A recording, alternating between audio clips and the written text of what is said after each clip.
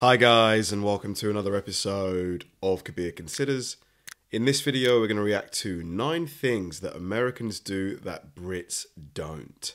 Now this is a video from Lawrence of Lost in the Pond. It has been years since I have uh, reacted to a video of his.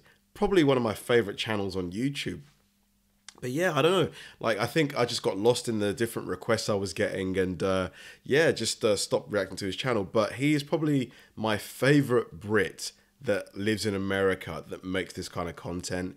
Um, he's been in America now for probably like a decade, and obviously spent the first sort of twenty-ish plus years in England. So he's he's probably really well placed in terms of comparing the two countries in terms of how the lifestyle is, the culture, the differences, things like that. So, yeah, it's going to be fun to hear about things, observations he's made about things that you guys do that we don't for some reason. I'm Lawrence, and I'm on a quest to uncover all of the memos that Britain, Britain and America, America lost, lost, in, the, in pond. the, pond. And one of those memos pertains to the things we do as people. It turns out that there are just things that people in one country do that the people in the other country do not do. And today we're going to take a look at nine things that Americans do that Brits don't. And take that title with a grain of salt, okay? It is it's very much a generalization. Of course, many of the things on this list probably are practiced by some people, some pedants over in Britain. I said yeah. pedants, not peasants. But for the most part, on the whole, generally speaking, how many other ways can you say that? Americans do these things more than Brits. Now, if I'd have done this list maybe 12 years ago before I moved to the United States, there are some things I would have included that have since caught on in Britain. So, you know, baby showering or queuing up for the Black mm. Friday sales or getting a coffee to go. So, since there's more of a level playing field in regard to those things, I'm just going to leave them off the list. And given that we're all presently trapped in our bunkers, even the ones that did make it onto the list probably shouldn't temporarily, including this.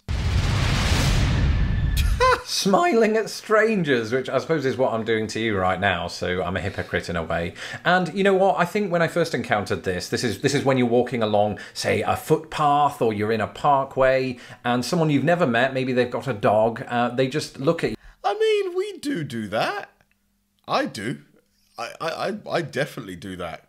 I mean, not all the time, but if I'm at the park, like, yeah, I'll be like, all right, Right, mate. You and smile. It's it sounds creepy when I put it like that, and at first it was. I thought I thought I was going to get mugged. Right? I British people value their personal space. Right? Don't don't enter that that zone. Um, and so when whenever that happened, it was it was a little off putting. But I got used to it when I realised that Americans are just really friendly, and this is a good thing, right? And so I not only came to embrace this, but I started doing it myself. And you know, people got a bit creeped out by the British teeth.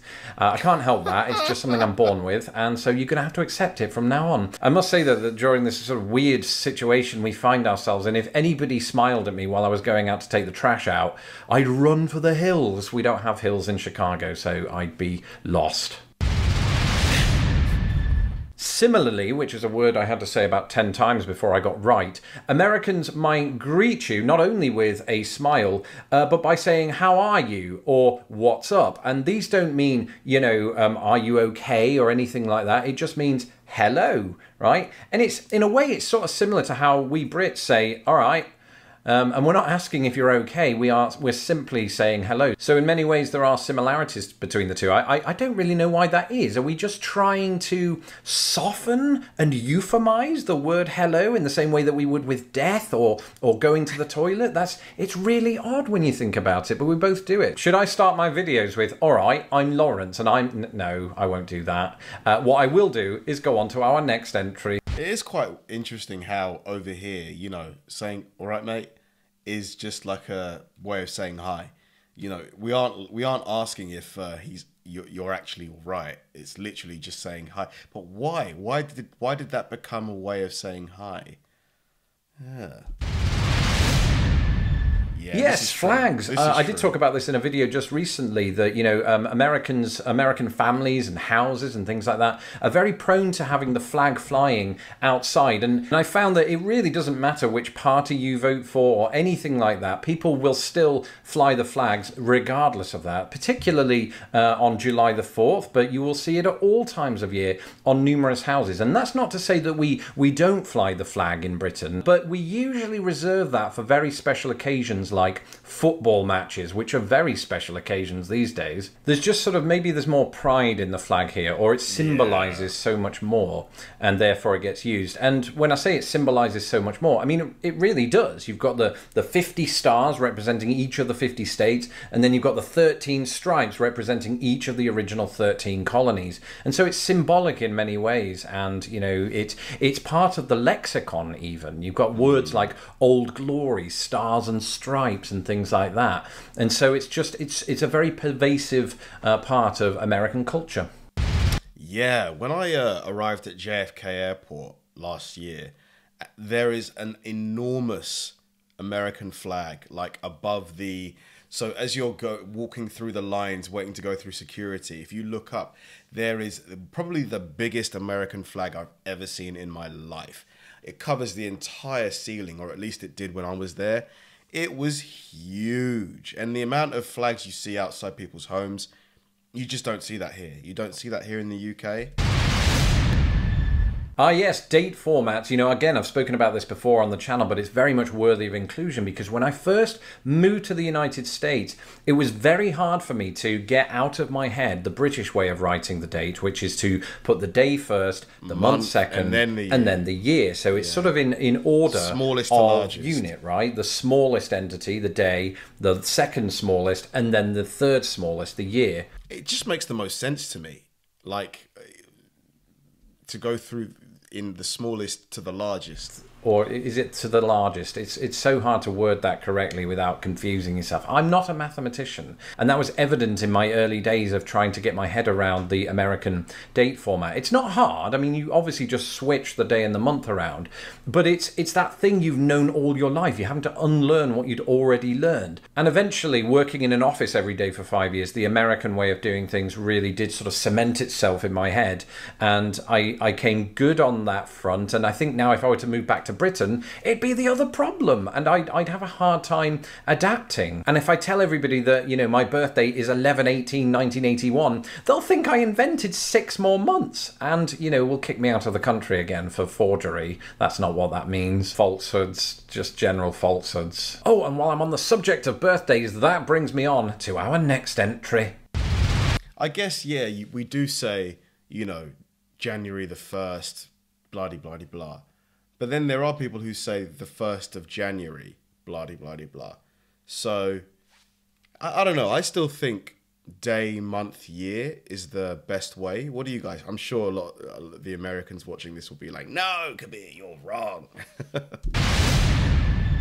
Tailgating was such an alien concept to me when I first moved to America, and in many ways it still is, and that's mainly because I don't own a truck and or go to sports events because that's what happens when I talk about tailgating. I'm not just talking about you know when you drive too closely behind another car. I'm talking about that kind of thing that Americans do at sports events outside of sports stadiums or anywhere else where they can park it, and they just casually light a barbecue and drink beer. And I mean they look fun. It's just I've never been invited to one, so pity pity me, come on, feel sorry for me. It's never happened. The best you're going to get outside of sports stadiums in, in Britain is people selling pirated DVDs. I've just realised actually, those pirate DVD sellers are, they're probably struggling right now because A, there's a pandemic on, and B, no one uses DVDs anymore. Actually, I suppose no. Gosh, I cannot remember the last time I bought a DVD.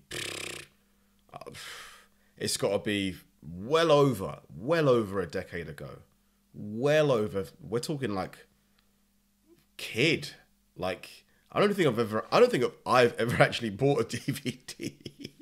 I think yeah, my dad or my mum. Yeah, I, we've not used DVDs for like twenty years or something. Nobody is doing our next entry, including me, so I'm going to leave this to Lawrence from Christmas to explain. Anybody that's followed my channel now for a while will know that I have feelings on free refills. In fact, I did an entire video about it. And while they are all the rage here, and of course you'll find them in most fast food outlets and other places, um, there is one clarification I have to make here. You will find free refills as an option in places like Subway in the United Kingdom. So in some capacity, America has exported it, but it is by no means as universal in the United Kingdom as it is in the United States. Facts, facts. And also, if you buy a free refill, you're paying like two to three times. Like for example, if you were to get a normal drink, which might cost you a pound fifty, in certain restaurants, if you want a free refill version, it'll be like four pounds.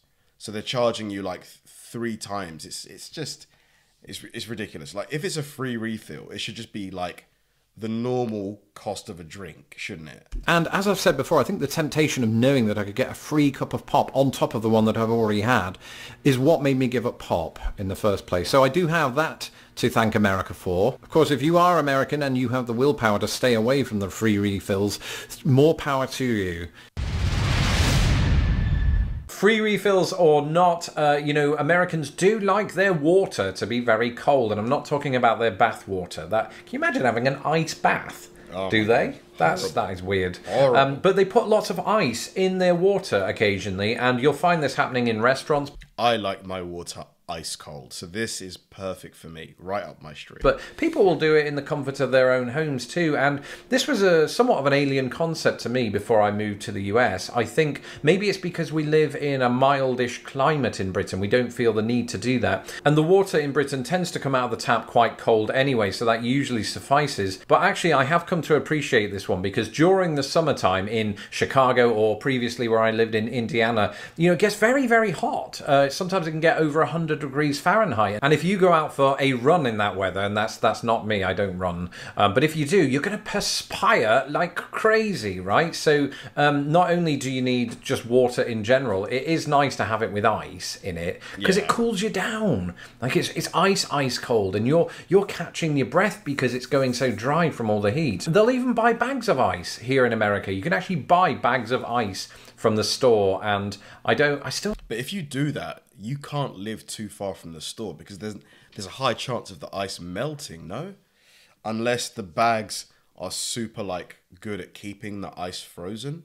Maybe they've got some kind of layer, like a thermal thing. I don't know why people do that. I know because we have you have ice trays and you put them in the freezer. Am I missing something? So that you can have ice for a party.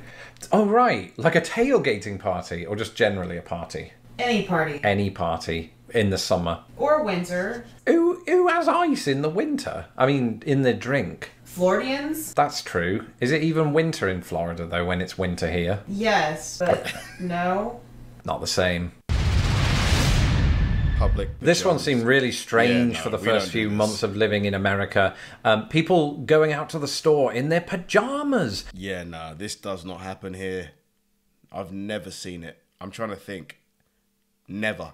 Never. And sweatpants and things like that. It's it's as if they don't care about what they look like while, you know, traversing Walmart, which I can understand. It's not really something you'd find back in Britain. I'm not, I'm not saying we dress our Sunday best to go shopping, but we at least make an effort, put on jeans and a t-shirt, you know. You will see people going out in their gym jams, their jammies, their what are you PJs, right? And I'm I'm not exempt from that, especially right now. I mean, I don't care what pe- I want people to avoid me. So of course I go out in my pajamas or anything. I went out in this the other day. These aren't my. Wow, what is this? Is that a ski mask? If you went to the store wearing this, you'd probably get arrested in the UK. They'd be like, are you trying to rob us? Pajamas, that's just me looking like a Sith Lord. A dime store Sith Lord, but nonetheless a Sith Lord. And I suppose in many ways it speaks to that American tendency toward comfort. Uh, but this is not just a pandemic era thing. I mean, people have been doing this for centuries, probably. Pajamas? Yeah. Uh I feel like that started in the 90s. So there weren't people going in in the 19th century going out with their sort of sleeping cap on and things like that to their local blacksmiths or whatever. That's it. Thank you for watching this episode of Lost in the Pond. Don't forget to follow me. Uh, great video. It was a lot of fun watching a, a Lawrence Lost in the Pond video again. I do think as time goes on, the cultures are becoming so so similar, and a lot of the things that are done in America are coming over here and vice versa. A lot of the things that we do over here are going over there. Um, the ice in the water thing, I'm a massive fan of. I love my drinks super cold, as cold as possible. I just find it super refreshing when it's really, really cold. The saying hello to strangers, I do that. I do that whenever I can. I just think it's nice. It's a nice thing to do, you know, just to acknowledge people, smile at people. People that don't do that, I obviously you know, you can do what whatever you want, but it's like, come on, you know, just why not? Thanks for watching, guys. If you enjoy my videos, please help me out by liking and subscribing.